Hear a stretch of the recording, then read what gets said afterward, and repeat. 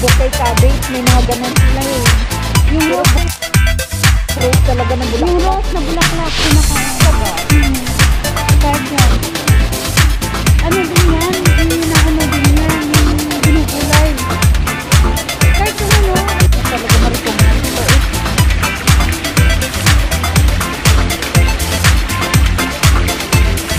Diba yung pagkaano niya?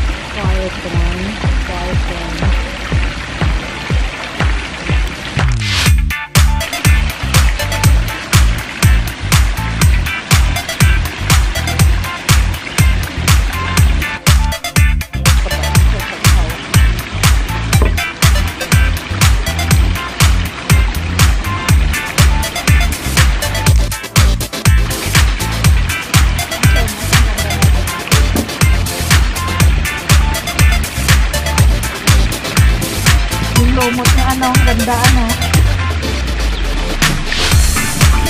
Yan. Ilang na lang pagkakas.